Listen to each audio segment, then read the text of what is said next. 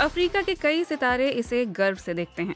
वहीं अफ्रीका में आज भी कुछ लोग टैटू को ठगों या फिर देह व्यापार करने वालों से जोड़कर देखते हैं। कुछ अफ्रीकी युवा इस सोच को बदल रहे हैं। उनके बीच टैटू कल्चर तेज़ी से फैल रहा है। युगांडा के एफ्रोबीट सिंगर बिनी गुंटर तो टैटू के दीवाने हैं। गन टॉक मेरा ब्रांड है। म्यूज़िक लेवल गन टॉक ये Jah loved bar code Jah loved मतलब भगवान का प्यारा। असल में ये एक शेर है जो उतना अच्छा नहीं बना। मैंने कई और टैटू बनवाए हैं। इसके बावजूद युगांडा में टैटू को बुरी नज़र से देखा जाता है। सांतो युगांडा के स्टार टैटू आर्टिस्ट हैं। सांतो इस नज़रिए को बदलना चाहते हैं। 26 साल के सांतो और उनकी टीम ने युगांडा के कुछ नामी सितारों के टैटू किए हैं। इनमें एफ्रोबीट्स आर्टिस्ट जोजे सामेलियन अदाकारा शीबा और किक बॉक्सिंग चैंपियन गोलोला भी शामिल हैं.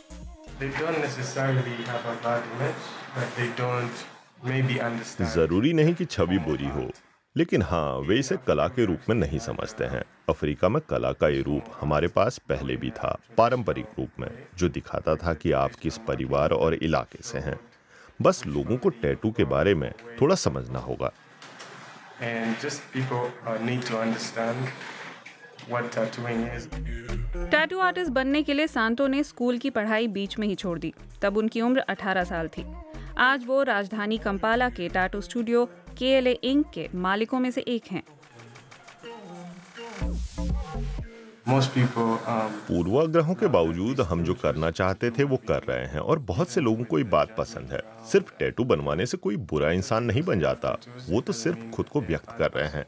ये तो इजहार का एक तरीका है. बहुत से टैटू प्रेमी दकियानूसी सोच का सामना करते हैं बिजनेसमैन मिल्टन मुंबेरे दफ्तर में हमेशा अपना टैटू ढक कर रखते हैं Oh my God, it's it's such a big deal. Oh my god ये बहुत ही बड़ी चीज़ है जब भी दफ्तर या कहीं बाहर मेरा हाथ फिसलता है और ज़रा सा टैटू नज़र आता है तो ऐसा लगता है जैसे हर कोई पूछ रहा है कि तुमने टैटू बनाया है. फिर आम धारणा भी है कि टैटू वाले लोग शायद ठग टाइप या बुरे होते हैं. टैटू से सेहत को भी नुकसान पहुँचता है डॉक्टर रोनाल्ड कार्सी के मुताबिक लोगों को स्वास्थ्य संबंधी जोखिम की जानकारी है if they are using the same needles अगर वे हर किसी पर एक ही सुई इस्तेमाल करते हैं और उसे इस्तेमाल के बाद विषाणु मुक्त नहीं किया जाता है तो H hepatitis B hepatitis C जैसे इन्फेक्शन का खतरा पैदा हो जाता है। जोखिम और खराब इमेज के बावजूद बहुत से युगांडाई युवा टैटू बनवा रहे हैं। धार्मिक चित्र और प्रार्थनाएँ पसंदीदा टैटू डिज़ाइन हैं। लेकिन स्टाइल कुछ भी हो आलोचना ज़रूर होगी। ये लोगों को खुश करने के बारे में नहीं है। ये खुद बने रहने के बारे में है।